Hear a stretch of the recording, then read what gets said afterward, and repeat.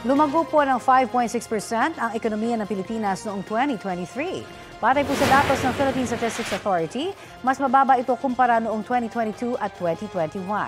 Hindi rin ito naabot ang target ng administrasyon na 6 hanggang 7% na pagtaas ng gross domestic product para sa 2023.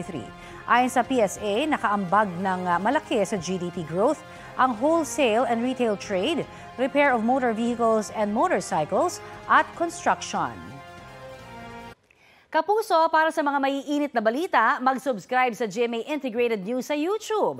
Sa mga kapuso naman abroad, subaybayan nyo kami sa GMA Pinoy TV at sa www.gmanews.tv.